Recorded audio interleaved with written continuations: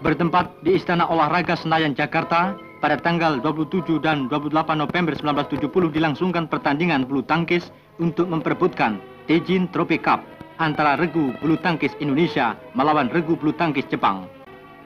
Pertandingan yang sedang berlangsung ini adalah pertandingan regu putri antara pemain utama Minarni dari Indonesia melawan Esuku Takenata dari Jepang.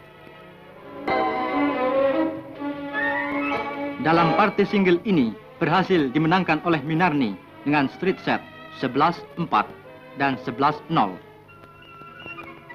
Pertandingan single lainnya antara Teresia Widyastuti melawan Michiko Aisawa berhasil dimenangkan oleh Teresia Widyastuti. Dalam pertandingan ganda putri antara pasangan Indonesia Nurhaina Poppy Tumengkol melawan pasangan Nishio Akimoto berhasil dimenangkan oleh pasangan Indonesia.